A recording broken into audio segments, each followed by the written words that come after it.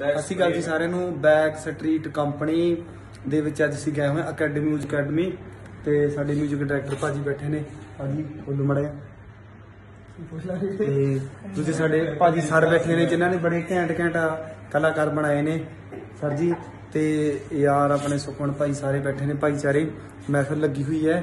ਤੇ ਅੱਜ ਮੇਰਾ ਭਰਾ ਕਮਲ ਢਿੱਲੋਂ ਜੋ ਬੜੇ ਹੀ ਘੱਟ ਟਾਈਮ ਦੇ ਵਿੱਚ ਤੁਹਾਨੂੰ ਦੇਖਣ ਨੂੰ ਮਿਲੂਗਾ ਬੜੇ ਘੈਂਟ ਘੈਂਟ ਬਾਈ ਦੀ ਸਿੱਖ ਰਿਹਾ, ਬੜਾ ਸੋਹਣਾ ਗਾਉਂਦਾ ਹੈ। ਅੱਜ ਤੁਹਾਨੂੰ ਉਹ ਗਾਣਾ ਗਾ ਕੇ ਸੁਣਾਊਗਾ। ਚੱਲ ਵੀਰੇ। ਕੋਈ ਪੱਟ ਕੇ ਤੇਥੋਂ ਸੋਹਣੀ ਦੀ ਮਨਮੋਹਣੀ ਦੀ ਜਿੰਦ ਨਾਲ ਲਿਖਵਾ ਦਿਆਂਗੇ। ਤੇਰੇ ਨਵੇਂ ਸਹੇੜੇ ਯਾਰਾਂ ਦੇ ਦਿਲਦਾਰਾਂ ਦੇ ਵਿੱਚ ਭੜਥੂ ਪਾ ਦਿਆਂਗੇ।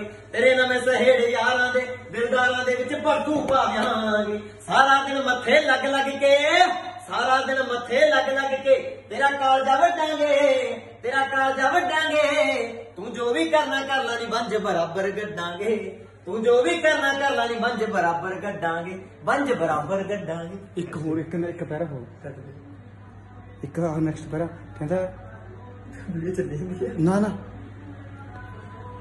ਉਹ ਚੱਲੀ ਜਾਂਦੀ